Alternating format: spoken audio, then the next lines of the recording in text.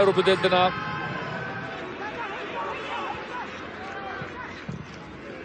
Pétur, góðu bolti. Dumbia. Dumbia skallaði þetta frá þarna. Og hér er Sáhovits. Og hér er Tavares. Og hér er hann kominn. Hann, þeir eru að klára þetta hérna núna. Tavares og hann skorar fyrir Maribor. Þeir eru komnir áfram. Þeir hlaupa hérna inn á varamenn og aðrir hvaða vittlis er hann í gangi. En ennfáingar tóku þennan sjens sem að þeir þurftu að taka. Þetta er nú eina alls þeirra vittlisa þarna, alls konar menn að hlaupa þarna inn á völlin og dómari þarf nú að gera eitthvað í þessu. En uh,